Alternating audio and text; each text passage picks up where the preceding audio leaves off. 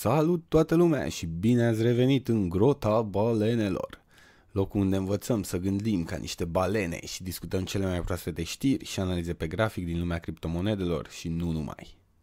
Astăzi m-am gândit să vorbim despre cum piața poate să evolueze și mai ales o să ne uităm pe niște grafice ca să ne facem câteva idei despre ce s-a întâmplat în trecut și ce se poate întâmpla în viitorul apropiat.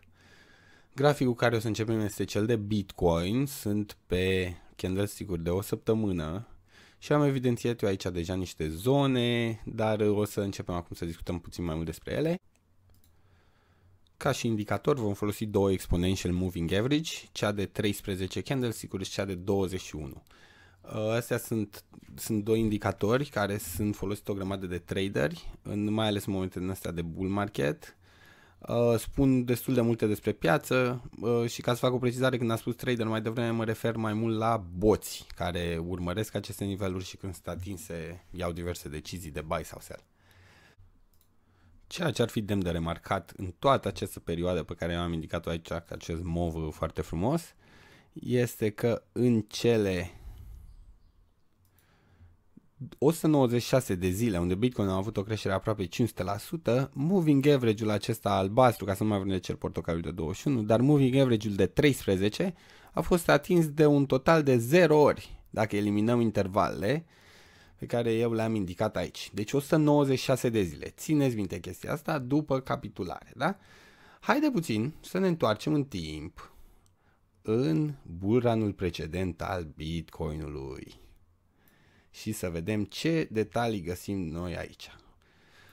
Putem vedea perioada asta de capitulare care a durat mult, mult mai mult, mult mai mult decât în, în cazul uh, actual, doar că dacă ar fi să urmărim uh, puțin trendurile, putem vedea că mișcările sunt destul de asemănătoare, plecând de la această corecție masivă inițială, apoi o recuperare, încă câteva retesturi pe final, iar apoi, lucru pe care consider că este important, atingerea acestui moving average, testarea sa, iar apoi plecarea și depărtarea de el, la fel cum putem vedea și aici, s-a jucat exact pe moving average, iar aici a, a plecat de pe el într-un final. Apoi, o să observați pe grafic că am delimitat niște zone aici, iar fiecare zonă, regula pe care eu am folosit-o a fost când a atins moving average-ul albastru sau roșu și la fiecare testare asta. O să observați că după perioada aceasta mare de capitulare, piața tinde să se corecteze ușor, dar tinde tot timpul să reverifice acest moving average. Uh, mișcările poate nu par foarte mari aici, dar dacă e să le luăm pe fiecare în parte, fiecare mișcare din aceasta a fost destul de sângeroasă pentru Bitcoin. Aceasta a fost una de 37%, aceasta de aici a fost una de 36%. Aceasta a fost una de 41%. Înțelegeți ideea mare, da? Deci uh, corecțiile acestea pentru Bitcoin, 41% din nou, sunt foarte, foarte sângeroase, dar ce este important este că ele trebuie să se întâmple ca uh, creșterea să continue acesta este un pattern pe care Bitcoin l-a arătat în timp și arată că nu numai că trebuie să o atingă o dată, ci are mai multe etape în care acesta o reverifică. Chestia este că în fiecare etapă din aceasta, hai să vedem și cam cât a crescut și cât a durat creșterea, pentru că asta e important. Aceasta a durat 140 de zile. A fost una destul de lungă, dar eu aici, spre exemplu, au fost câteva săptămâni în care a fost fix pe ea, deci asta haide să nu o considerăm așa de importantă. Următoarea a durat undeva la 60-70 de zile, următoarea a durat undeva la 105 zile, apoi din nou 60-70, urmând ca asta cea mai de sus de aici, ultima, ultimul hop, să fie în 80-90 de zile. Asta a fost bullrun precedent, da? Acum, dacă ne uităm la cel actual, vedem o singură cutie. Pentru că a fost prima oară când în toată perioada asta de, repet, 196 de zile, a atins exponential moving average de 13.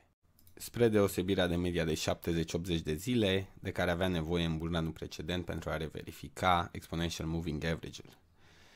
Um, în timpul mișcării acesteia de aici, în martie, undeva prin martie, aici au început altcoinurile să sară. Iar, practic, uh, acum o săptămână, două, am văzut uh, orice monedă, indiferent de proiect, indiferent de cât de meme coinuri sau shitcoin-uri sunt, cum au început ele să bubuie în preț acolo și să umple portofelele balenelor.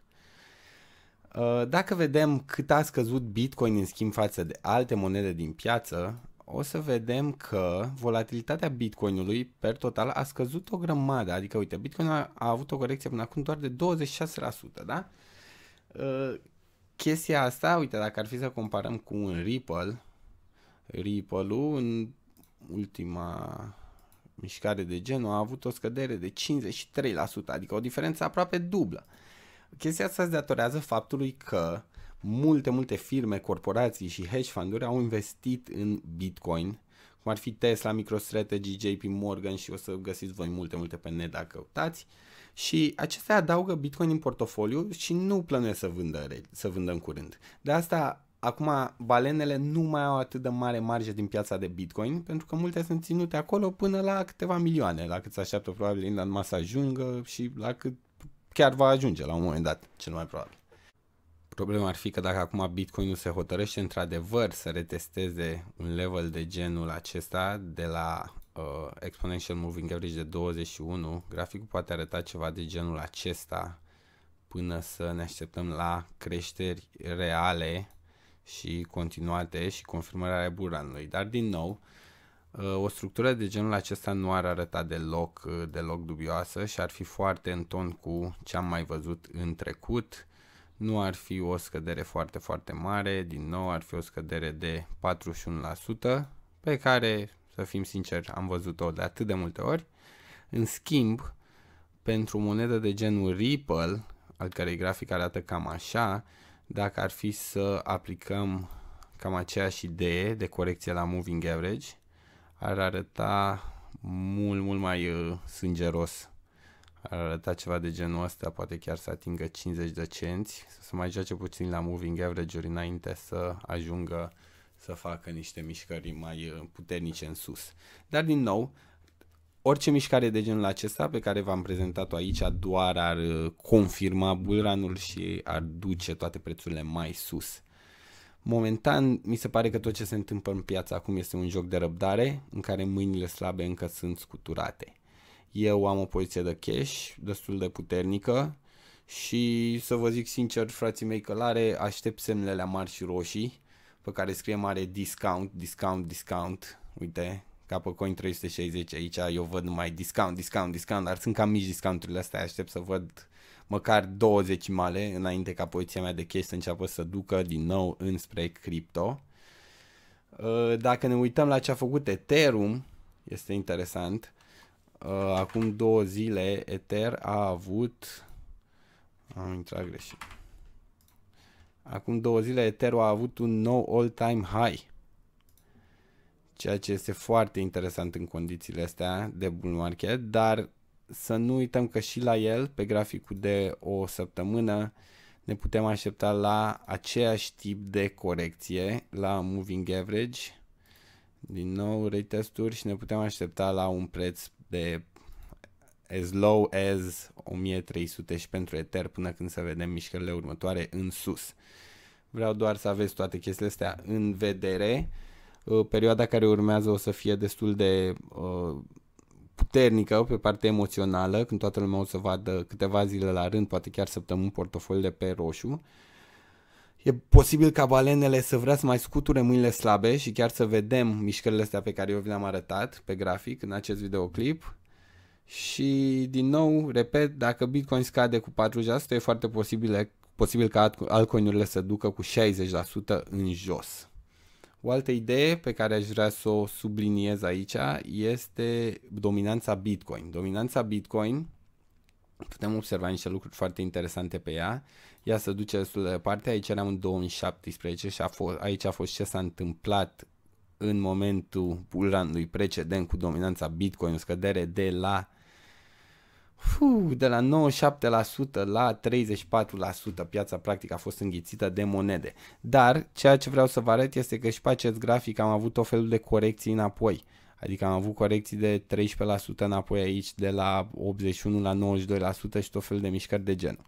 Momentan, în ziua de astăzi, vedem că dominanța Bitcoin stă undeva în, în zona asta galbenă, îi place să, să stea. Zona asta vedem că este un punct istoric de rezistent, de suport devenit rezistență, redevenit suport, pe care acum cred că doar o retestează, așa că și aici ne putem aștepta la mișcări de genul acesta în sus până când uh, cu adevărat nu să, să ajungă unde, unde vrea să ajungă.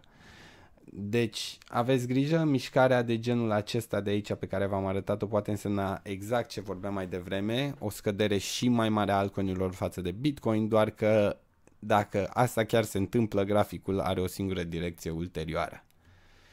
Momentan ne aflăm pe la jumatea bullrun-ului, balenele s-au decis probabil să scoată niște profit, asta nu este o problemă, uh, să nu uităm că și perioada asta global este o perioadă de taxare, nu vorbesc aici despre știrile lui Biden sau nicio altă, niciun alt complot de genul acesta media menit să sperie lumea.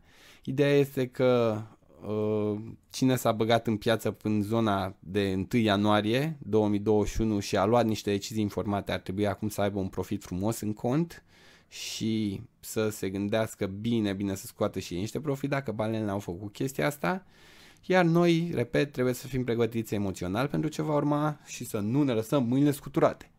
Vreau să aveți cu toții informațiile astea pentru că chiar dacă se întâmplă acest retest al Bitcoin la Exponential Moving Average, vor apărea și o grămadă de știri false, o grămadă de știri din astea în piață menite să introducă uh, frică, să introducă nesiguranță și să introducă îndoială și care să susțină paradigma aceasta că Bitcoin scade. Cam asta aș avea eu de zis pentru astăzi. Vă mulțumesc foarte mult pentru atenție. Accept orice tip de feedback în zona de comentarii și până data viitoare vă urez mult succes și spor la balenit, călăreții mei de balene. La revedere!